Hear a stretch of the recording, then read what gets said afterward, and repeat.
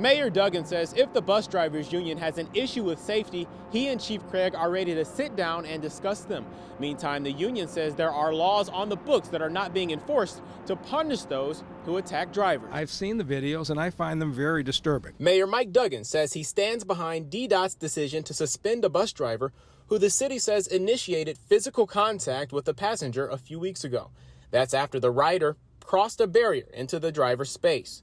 This altercation stemming from the passenger not wearing a mask and the driver refusing to drive off. When you look at the response, I, I got to tell you, I, I'm disturbed by the response. It wasn't go back to your seat, it wasn't stay back behind the line. The driver's suspension prompted all drivers to walk out Friday. The union emphasizes it did not authorize this action and it violates the contract with the city.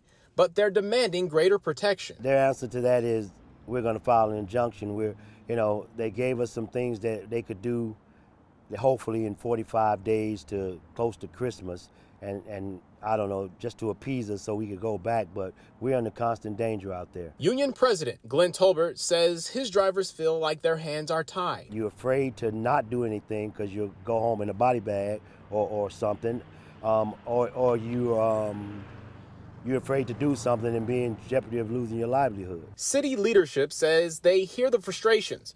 The driver is getting due process, will have the right to appeal and undergo arbitration.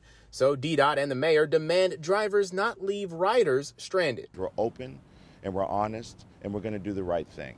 And I say to the drivers of Detroit, come back to work. Mayor Duggan says if this goes to court, the union will lose. In downtown Detroit, Darren Cunningham, 7 Action News.